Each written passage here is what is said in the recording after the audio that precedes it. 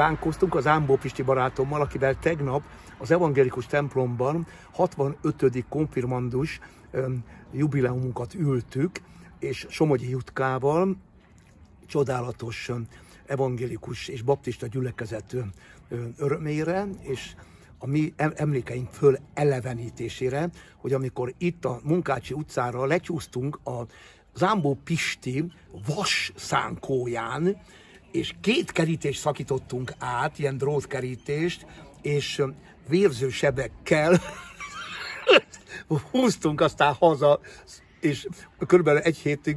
iskolában is alig tudtunk eljárni,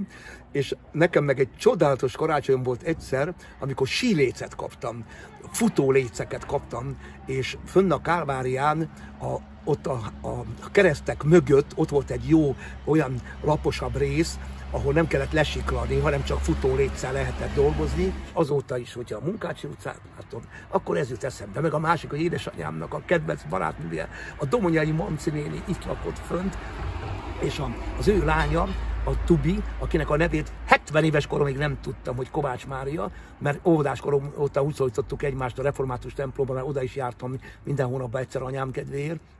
hogy Tubi. És még 70-es koromban is csak annyit tudtam, hogy Tubi, és az anyánk meg az, ap, a, az ő édesanyja, az ott a báránytermő szélén le nekünk, hogy jó, vagy gyerekeink, csak tartsatok össze egy szexárdon, hogyha erre jár a Levente Péter, akkor főzze neki halászlevet. Meg is főzte pénteken a többi.